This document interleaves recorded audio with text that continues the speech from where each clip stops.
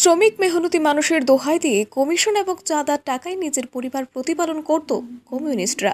একমাত্র রাজ্যের মানুষের সামনে বিগত দিনে যথাযোগ্য বিকল্প না থাকায় দীর্ঘদিন তারা ক্ষমতায় টিকে থাকার সুযোগ পেয়েছিল। কমিউনিস্ট এবং কংগ্রেস হল ত্রিপুরায় আইসিইউ এবং ভেন্টিলেশনে থাকা দুটো দল। কংগ্রেস হল কমিউনিস্টের বি টিম। শনিবার ধলেশ্বর স্বামী দয়ানন্দ বিদ্যালয় প্রাঙ্গণে নয় বনমালীপুর মণ্ডল যুব মোর্চার আয়োজিত ঐতিহাসিক যুব সম্মেলনে বক্তব্য রাখতে গিয়ে এই কথাই বললেন প্রাক্তন মুখ্যমন্ত্রী তথা সাংসদ বিপ্লব কুমার দেব এদিন তার বক্তব্যের শুরু থেকে শেষ পর্যন্ত সিপিআইএম এবং কংগ্রেসকে এক প্রকার তুলোধনু করেন তিনি। বিগত বামফ্রন্ট সরকারকে নিশানা করে তিনি বলেন, এত লম্বা সময় ক্ষমতায় থাকা একটি দল, যারা সরকারে থাকতে তারাই একশো বছর ক্ষমতায় টিকে থাকার দিবা স্বপ্ন দেখেছিলেন। মাত্র পাঁচ বছরের মধ্যেই জন আস্থা খুইয়ে অন্যের হাত ধরে ভোট বৈতরণী পার হওয়ার প্রচেষ্টা করছে। যাদের রাজনৈতিক ভবিষ্যৎ অন্ধকারে, তারা রাজ্যের সমৃদ্ধি ভবিষ্যতের আশার স্বপ্ন দেখাচ্ছে। রাজনৈতিক স্বার্থে কমিউনিস্টরা এতদিন ত্রিপুরার ভাগ্য উপেক্ষিত করে এসেছে। আমি ত্রিপুরার মানুষকে ধন্যবাদ জানাই, সাধুবাদ জানাই যে কদম ঐতিহাসিক কদম দু হাজার আঠারোতে উঠিয়েছিল। এই সাতত্রিশ লক্ষ ত্রিপুরাবাসীর মাঝখান থেকে কমিউনিস্ট এবং কংগ্রেসকে ভোট দিত সেই সময়। উপায় ছিল না। উপায় নেই, তার জন্য করেছে। যদি তখন নোটা এসে যেত, অথবা বিশ বছর আগে নোটাতে ভোট দিয়ে মানুষ বসে যেত কমিউনিস্টকে হারানোর জন্য। নোটা তো অনেক পরে এসছে। মানুষ মজবুর হয়ে কমিউনিস্ট পার্টিকে আর তাদের বিটিমকে ভোট দিতে হতো। স্থায়ী লিডারশিপ স্থায়ী নেতৃত্ব যদি ভারতবর্ষে কারোর কাছে আছে, তো নরেন্দ্র ভাই মোদী ভারতীয় জনতা পার্টির কাছে রয়েছে।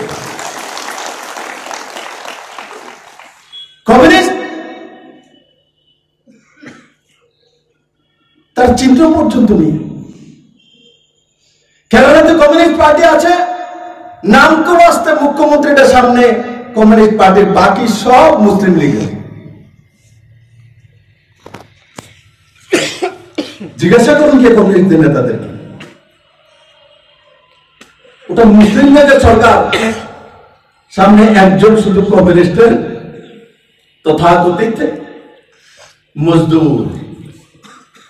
কত বড় মজদুর চিকিৎসা করার জন্য বিদেশ গিয়ে চিকিৎসা বা ভারতে চিকিৎসা এই মজদুরের কোভিডের সময় বিপ্লব দেবের চিকিৎসা জিবি হসপিটালে হয়ে যায়। কিন্তু কমিউনিস্টের কেরালার মুখ্যমন্ত্রীর চিকিৎসা ইউরোপিয়ান হসপিটালে হওয়া, এই হচ্ছে মজদুরের ডেফিনেশন কোথাও নেই কমিউনিস্ট। এখানেও নেই। তার জন্য যিনি বিরোধী দলের নেতা, এখন ঘুরে বেড়ান কত বড় শক্তি তোর আগে বলতেন দু হাজার আট করে একশো বছর ক্রমাগত কমিউনিস্টের সরকার থাকবে ত্রিপুরা রাজ্যে আর এখন একশো বছর থাক পাঁচ বছর যাওয়ার আগে বলে কে কে সাথী আছে আমরা নেব হেরে নেব হেরে নেব হেরে নেব क्या हालत है সাড়ে চার বছরে বেড়াল বেরিয়ে এসছে ঝোলা থেকে আর আগে এই বেড়ালকেই ত্রিপুরার মানুষকে बाघ दिखातो बाघ है हमारे पास बाघ है जैसे मोदी जैसा लॉयन आया तो बाघ निकाल के बिराल बन गया তাহলে পরিবারটা চলবে কিভাবে তার জন্যই এসএফএন নামে মেয়ের কাছ থেকে চাঁদা ডিএফ এর নামে ছেলের কাছ থেকে টাকা খ্যাত পুজোর নামে আপনার বাবার কাছ থেকে চাঁদা নারী সমিতির নামে আপনার পত্নীর কাছ থেকে চাঁদা সিটুর নামে আপনার ছোট ছেলের থেকে চাঁদা ওই চাঁদাগুলো নিয়ে এই মঞ্চে যারা নেতা হয়ে বসে থাকতেন, তারা তাদের পেট পালতেন।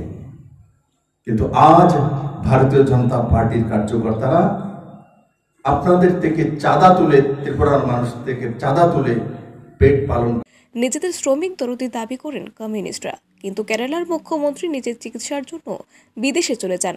এই হলো তাদের ম্যাকি শ্রমিক দরদের ভাব।